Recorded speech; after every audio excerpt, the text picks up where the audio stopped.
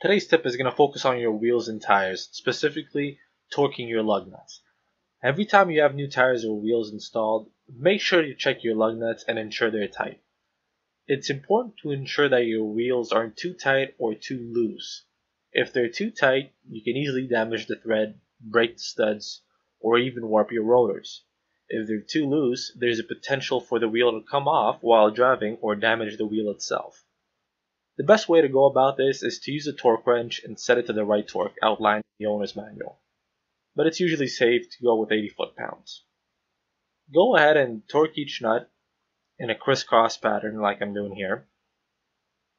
Now, in case you don't have a torque wrench, you can always use a half inch drive ratchet to tighten the nuts.